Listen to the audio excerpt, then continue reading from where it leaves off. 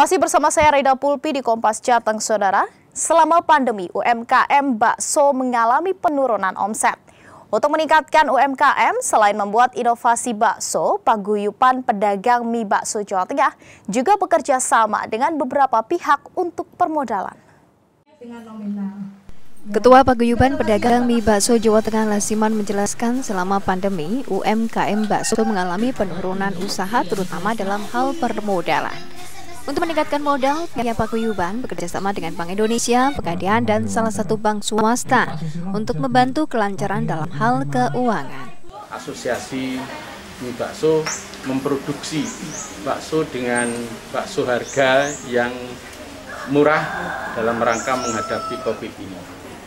Yang kedua juga karena teman-teman pedagang mie bakso, UKM dan seterusnya e, karena terjadinya COVID ini banyak modalnya yang hilang maka kami untuk e, mendapatkan permodalan bekerja sama dengan Pegadian di Kanwil Jawa Tengah dan tentunya ini diperuntukkan untuk seluruh anggota APMISO Jawa Tengah dan UKM lainnya. Sementara itu Susilo pedagang bakso yang tergabung dalam PAP Miso menjelaskan, selama pandemi memang UMKM bakso terpuruk. Untuk menaikkan kembali perekonomian, PAP Miso bekerja sama dengan Bank Indonesia, Pegadaian, dan salah satu bank swasta tersebut.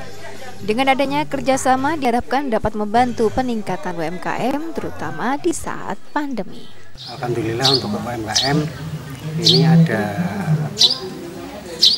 instansi-instansi maupun yang berhubungan dengan keuangan misalnya Bank Arta Graha, Pegadian dan masih yang di langsung dipelopori oleh Bank Indonesia untuk untuk menggugah kembali gerget daripada rekan-rekan UMKM. Untuk pengembangan usaha, Asosiasi Pedagang Bakso dan Mie Ayam membuat inovasi bakso yang higienis. Contohnya produk pap miso seperti produksi olahan bakso dan ayam, pangsit kering yang dijual ke masyarakat dan UMKM.